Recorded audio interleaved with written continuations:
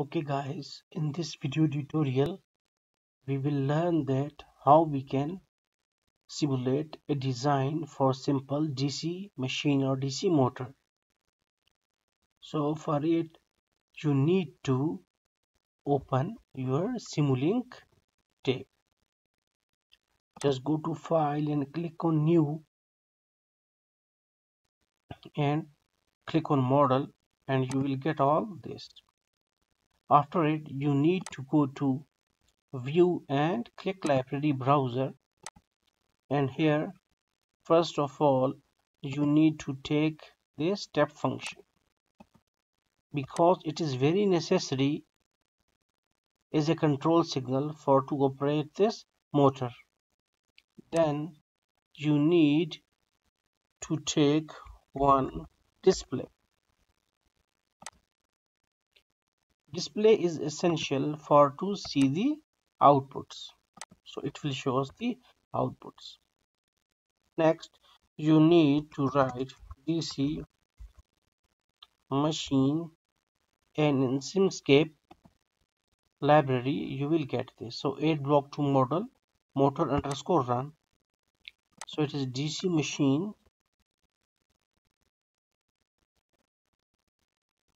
Now we need to take DC source sorry SO to our CE source and we will press search sorry.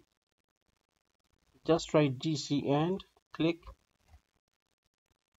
and we will get all this and we will select one.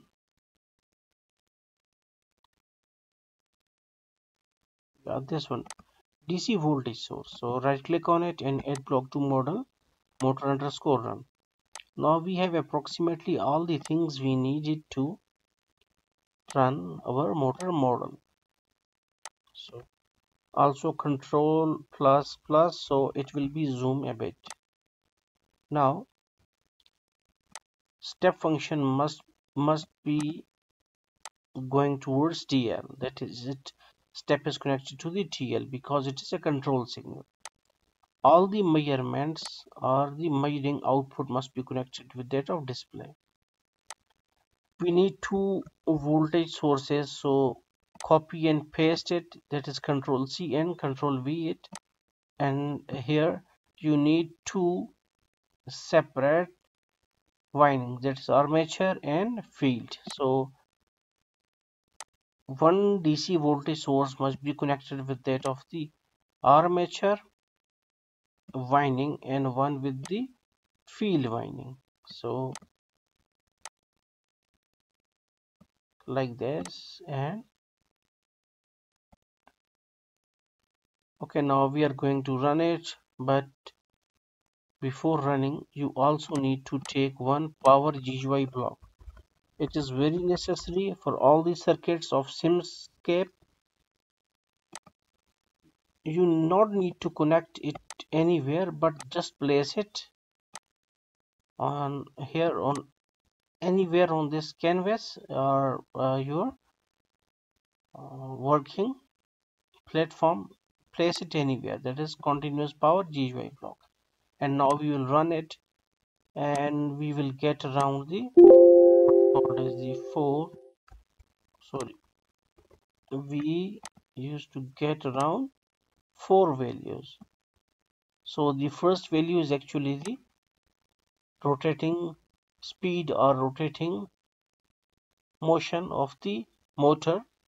Rotating velocity this is 132.3 the second one is actually the armature current 1.345 is the armature current. And this one is the field current that is IF 0.4167 and what about point 1.008 it is the electrical torque because we know that every mo motor is going to produce some torque and there are some other types of torque. And the one is our electrical torque. So 1.002 is base electrical torque.